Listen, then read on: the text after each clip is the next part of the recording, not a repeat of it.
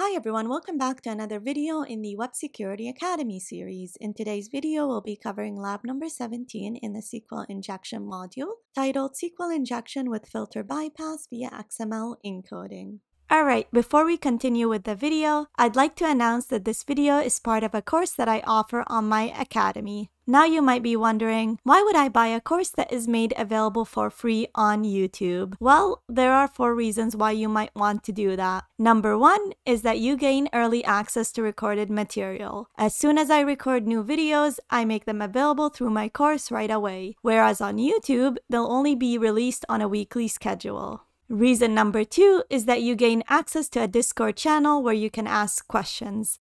The Discord channel is divided into topics that we cover in the course, and if you run into any issues, you get to ask questions about anything related to the course material. Reason number three is that you no longer have to deal with YouTube ads or sponsor messages. And last but not least, reason number four is you get to support me. Any revenue generated from this course will go back into maintaining the Academy and creating more videos and courses that will be made available for free on my YouTube channel. So if you're interested in buying the course, make sure to check out the link in the description. And that is it. Let's go back to our video.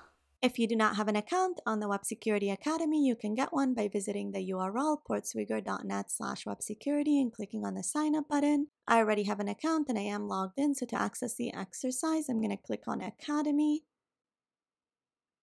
select All Labs, go to the SQL injection module, which should be the first one, and go down to lab number 17 titled SQL Injection with Filter Bypass via XML Encoding.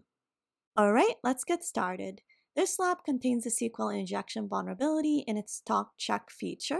The results from the query are returned in the application's response so you can use a union attack to retrieve data from other tables. The database contains a users table which contains the usernames and passwords of registered users. To solve the lab, perform a SQL injection attack to retrieve the admin user's credentials, then log into their account. All right, so the target goal over here is to exploit a SQL injection in the stock check feature and then retrieve the admin's username and password from the users table in the backend database and log into their account. We do have a hint in this lab saying a web application firewall will block requests that contain obvious signs of a SQL injection attack. You'll need to find a way to obfuscate your malicious query to bypass this filter. We recommend using the HackVerter extension to do this. Okay, let's access the lab.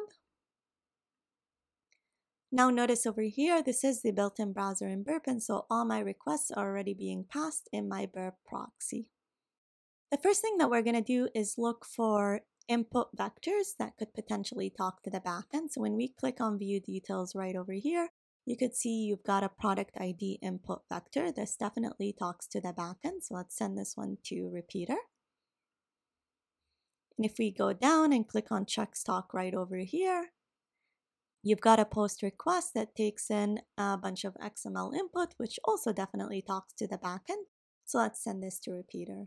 In a real life scenario, you would test both requests, but because we know the vulnerability is in the check stock feature, we will only be testing this request in the video. So let's hit send so that the XML is properly formatted. All right, so you could see over here, it takes in the product ID and the store ID, and then in the backend, it performs some kind of SQL query that takes in the product ID and the store ID and checks the number of items that are left for this product at this store. So if this query is not properly parameterized, then what we could do is we could potentially exploit it to retrieve content from the database or in worst case scenarios, get remote code execution on the server. So let's test it for a really common SQL query. So let's say one union select null. In this query, we're just really trying to determine the number of columns that are available in the table. So let's hit send and we get attack detected. So just like the hint suggested, there's some kind of web application firewall that sees that we're trying to perform some kind of SQL injection exploit and prevents us from performing the attack. And so we need to obfuscate our input in a way that the web application firewall gets bypassed. And to do that, we're using an extension called HackVerter.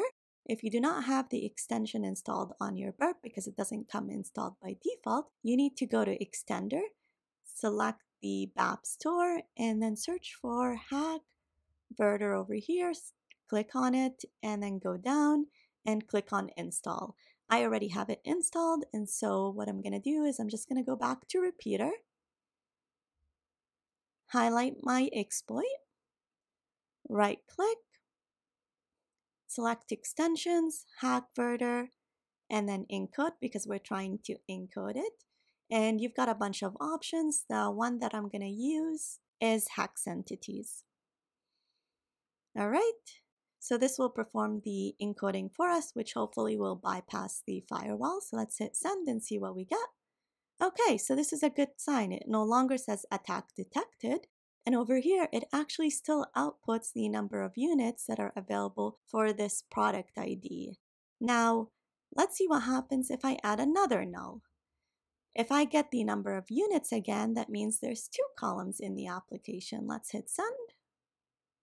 And we get zero units. So there's definitely only one column in the query, sorry, not the application but there's definitely one column in the query and so we're only able to output the content in one column which means if we're trying to output the content of two columns which is the usernames and passwords columns we need to concatenate them in some way and we've learned how to do that in previous labs.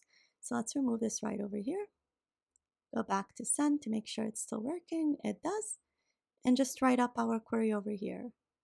So it would be one union, select username. We already know the names of the columns. Again, we did have a lab where we learned how to output the names of uh, the columns in the database. So username, and then we're going to use the tilde over here to separate the content of the username column and the content of the password column so that they all appear to us in one column and we're going to say it's from the users table. All right, let's copy this entire thing, put it in here. And again, the hack verter extension will take care of obfuscating our input. So let's hit send. And here we go. So the query worked and it outputted the contents of the users table, specifically the username column and the password column and we're looking for the admin username and password. So let's go back to our application, click on my account, copy the administrator's username, which is just administrator, and then the administrator's password, paste it in here and hit login. And we get the congratulations, you solved the lab exercise. All right, so we successfully completed the exercise by exploiting the vulnerability manually. Now we usually script our exploits in Python. However, because we are using an external tool, which is the HackVerter extension, we won't be scripting our exploit in Python for this video. If you liked the video, hit the subscribe and share button so that the video reaches a wider audience. Also make sure to check out my course if you're interested in seeing more videos like this one. Thank you and see you in the next video.